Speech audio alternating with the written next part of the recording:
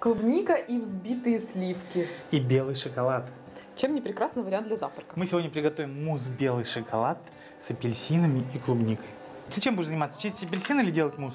Я буду чистить апельсин. Ах ты какая, а! Вот тебе.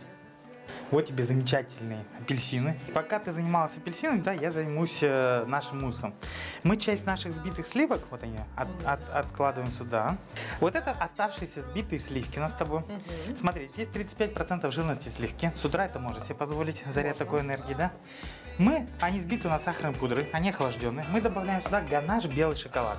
Добавляем, ни в коем случае мы с тобой не делаем это с помощью миксера. Знаешь почему? Потому что мы собьем с тобой тогда густую массу и превратимся в масло. Видишь, мы получили такой замечательный мусс с молочным цветом, Мгм. да? Теперь мы с тобой делаем второй крем. Этот крем у нас с тобой будет клубничный. Так. Но для этого мы сюда добавим с тобой клубничный сироп. Перетертая клубника с сахарным сиропом, свежемороженое и процеженное сквозь сито.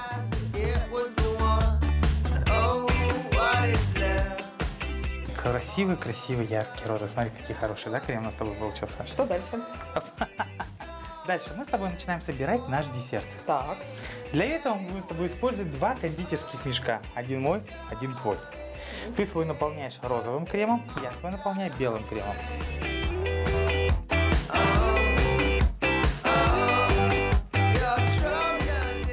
Я начинаю заполнять. Для чего нам нужен был мешок?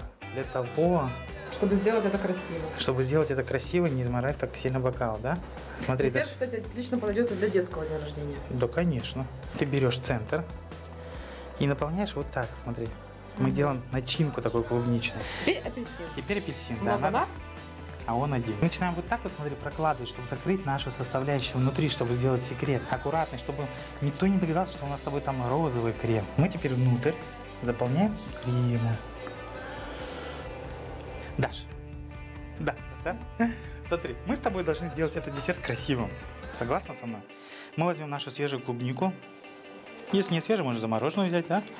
Нарезаем вот так. Мы теперь сейчас с тобой возьмем клубнику взяли. Теперь белый шоколад. Теперь мы его нарезаем такими стружками. О, видишь, как у нас получается.